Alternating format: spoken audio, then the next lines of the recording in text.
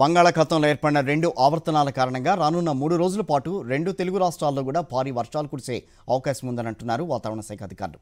కోస్తాంధ్ర మీదుగా ఒక ఉపరితల ఆవర్తనం నైరుతి బంగాళాఖాతంలో మరో ఆవర్తనం ఏర్పడ్డాయి. ఈ ఆవర్తనాల ప్రభావంతో రెండు రాష్ట్రాల్లో విస్తారంగా వర్షాలు కురిసే అవకాశం ఉందని తెలిపారు. మూడు రోజుల పాటు వర్షాల నేపథ్యంలో ప్రజలు అప్రమత్తంగా ఉండాలి అని అంటున్న వాతావరణ శాఖ అధికారిని శ్రావణితో మా correspondent Sushmita face to face. Telangana రాష్ట్ర వ్యాప్తంగా రానున్న మూడు రోజుల పాటు కూడా వివిధ జిల్లాల్లో భారీ వర్షాలు కురిసే అవకాశం ఉందని వాతావరణ శాఖ సూచనలు జారీ చేసింది.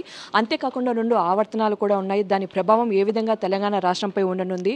ఏ ఏ జిల్లాల్లో వర్షాలు పడనుంది ఒకసారి అడిగి తెలుసుకునే ప్రయత్నం చేద్దాం. మనతో వాతావరణ శాఖ సీనియర్ అధికారిని శ్రావణి గారు ఉన్నారు. మేడం చెప్పండి రానున్న మూడు రోజుల పాటు కూడా భారీ వర్షాలు ఉన్నాయంటున్నారు సో ఏ ఏ జిల్లాలో ఈ అవకాశం ఉంది? మనం చూసుకున్నట్లయితే మనకి కోస్తా ఆంధ్ర మీదుగా ఒక ఉపరితల ఆవర్తనం ఏర్పడింది. ఈ ఉపరితల ఆవర్తనం దాదాపుగా రెండు పాయింట్ వన్ కిలోమీటర్ల ఎత్తులో ఉంది. దీంతో పాటుగా మనకి నైరుతి బంగాళ మధ్య బంగాళాఖాతంలోని ఒక ఉపరితల ఆవర్తనం దాదాపుగా ఐదు పాయింట్ ఎనిమిది ని- ఐదు మూడు పాయింట్ ఒకటి నుంచి ఐదు పాయింట్ ఐదు కిలోమీటర్ల ఎత్తు వరకు విస్తరించింది.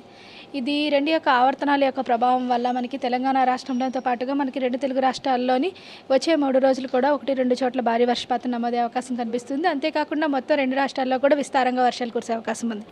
ఈ భారీ వర్షాలు కూడా మనకి ఉత్తర మరియు ఈశాన్య తెలంగాణ జిల్లాల్లో ఎక్కువగా ఉండే అవకాశం ఉంది. ఉత్తర తెలంగాణ జిల్లాలైన ఆదిలాబాద్ ఆసిఫాబాద్ మరియు కొమరంబి మంచిర్యాల జయశంకర్ భూపాలపల్లి ములుగు దీంతో పాటుగా మనకి ఈశాన్య జిల్లాలైన నల్గొండ సూర్యాపేట భద్రాద్రి కొత్తగూడెం ఈ ప్రదేశాల్లో కూడా మనకి ఒకటి రెండు చోట్ల భారీ వర్షపాతం ఈ రెండు మూడు రోజుల్లో కురిసే అవకాశం అయితే కనిపిస్తుంది. దీంతో పాటుగా హైదరాబాద్ మరియు పరిసర ప్రాంతాల్లో చూసుకున్నట్లయితే పగటంతా మనకి మబ్బు మబ్బుతో కూడిన వాతావరణంగా ఉంటూ సాయంత్రం పూట మనకి రాత్రిపూట మనకు కొద్దిగా ఇంటెన్స్ స్పెల్స్ uh, ఉండే అవకాశం అయితే కనిపిస్తుంది ఈ మూడు రోజులు కూడా. జూలై నెలంతా చూసుకున్నట్లయితే ఉత్తరాదిని మనకి సాధారణం కంటే అత్యధికంగా ఉండే అవకాశం ఉంది. మనకి దక్షిణ మధ్య తెలంగాణ జిల్లాలోని మనకి సాధారణం ఉండే ఉంది. మనకి దక్షిణ తెలంగాణ జిల్లాల్లోని కొద్దిగా సాధారణం కంటే తక్కువగా ఉండేటట్లుగా కుదురు కనిపిస్తుంది. అనమాట మొత్తానికి తెలంగాణ రాష్ట్రం మొత్తం మీదుగా జూలై నెలలో సాధారణ వర్షపాతం నమోదే అవకాశం అయితే ఉంది.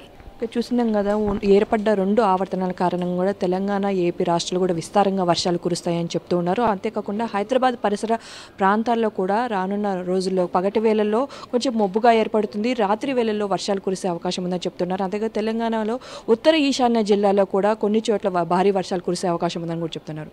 కెమెరామెన్ వెంకట్తో సుష్మిత సాక్షి టీవీ హైదరాబాద్.